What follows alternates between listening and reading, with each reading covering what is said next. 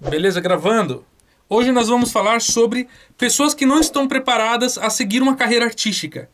Talvez é, a gente tem que tomar muito cuidado até com o que a gente fala, né? porque às vezes a gente pode até acabar ofendendo algumas pessoas, mas é, o mundo da música muitas vezes é, é cruel. Né? A gente tem que saber lidar em certas situações. Eu basicamente eu cresci na música, teve uma fase que eu parei de mexer com música porque eu, eu me desiludi, né?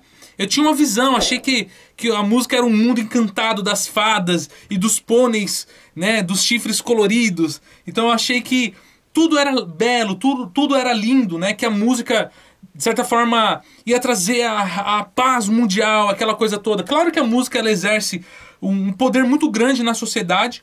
Não existe uma sociedade sem música, né? As pessoas não falam isso, mas eu sou um grande defensor da nossa causa, das pessoas que seguem a carreira do entretenimento, da arte, da música em si, e, enfim, da, da arte de modo geral, né? É, e de certa forma teve uma época na, na, minha vida que eu me desiludi da música, né?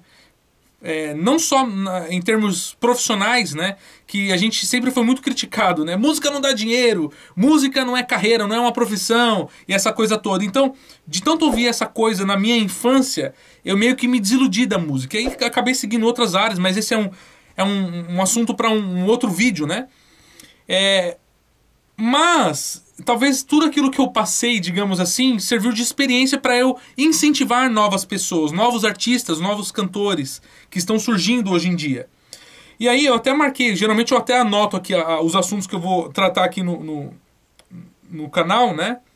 E, e uma vez eu gravei um rapaz, eu até marquei aqui, né? Uma vez eu marquei um, um menino, eu gravei um, um, menino, ele veio aqui, um menino bem novo, um rapazinho, né?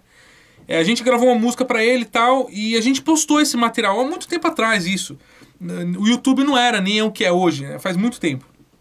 É, não tinha a força que, tinha, que tem hoje.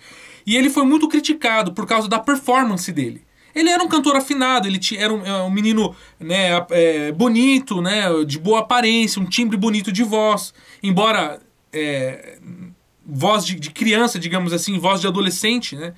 É, mas ele foi muito criticado quando ele, quando ele divulgou aquele material.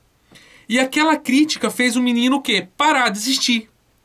E, imediatamente o menino parou aquilo que ele tanto sonhava, que era a sua carreira artística. Então, para você ver que às vezes a, a, a música ela, ela, é assim, ela é ingrata, né? Às vezes você. A gente tem um sonho, uma expectativa.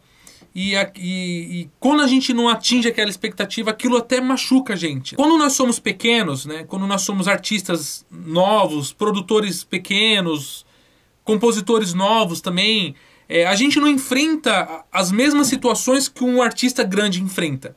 Então, você pensa que não, mas um artista grande, ele, ele enfrenta uma série de, de, de coisas, cara. É uma vida de muitas privações. Só que muitas pessoas não estão preparadas para ter esse mes essa mesma vida. Eu mesmo aqui no canal, esse canal pequeno do jeito que é, mas às vezes eu posto algum material que uma pessoa critica, às vezes a pessoa nem sabe qual é a condição daquela gravação. Às vezes eu fiz até uma gravação simples, sem mixagem, sem masterização, e a pessoa, nossa, essa música tá mal feita, tal, tá, não tá legal. Então a pessoa, as pessoas não entendem o mundo que a gente vive, né? Mas a gente tem que estar tá preparado para receber críticas, para ouvir, ler alguma coisa que até magoa às vezes, mas aquilo não abalar a gente. Então, quem vive um mundo artístico é assim.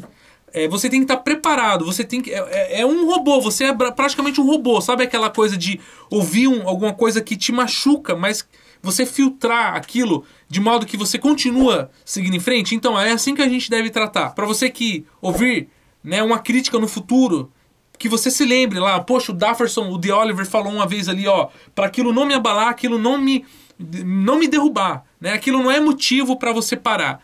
Que aquela crítica, que aquela que aquela situação constrangedora que talvez você passe no futuro sirva de incentivo para você continuar, né? Porque ao passo que tem muitas pessoas que vão querer que você desista, inclusive, outras vão desejar o seu futuro, o seu sucesso, né? É assim que funciona, tá ok? Então esteja preparado, caso você siga uma carreira profissional dentro desse mercado da música, da arte, do entretenimento, esteja preparado para enfrentar situações constrangedoras, tá ok? E eu não posso terminar esse vídeo sem dizer aquela frase do, do filme do Homem-Aranha, né? Quando o tio Ben fala assim pro, pro Spider, né? Fala assim, é que com grandes poderes vem grandes responsabilidades. Então, conforme você cresce, é isso que vai acontecer. Você passa a ter grande responsabilidade é, dentro de, desse mercado, né? porque você está influenciando pessoas, você, tá, você está levando música, alegria para a vida das pessoas, tá ok? Então esse é o episódio de hoje. Se você está aqui a primeira vez, eu sou Dafferson de Oliver Produções, de Oliver Studio. Contatos sempre na descrição do vídeo. Segue a gente aí, ativa o sininho, ativa o sininho para você receber as notificações, tá ok? Um abraço e até os próximos episódios.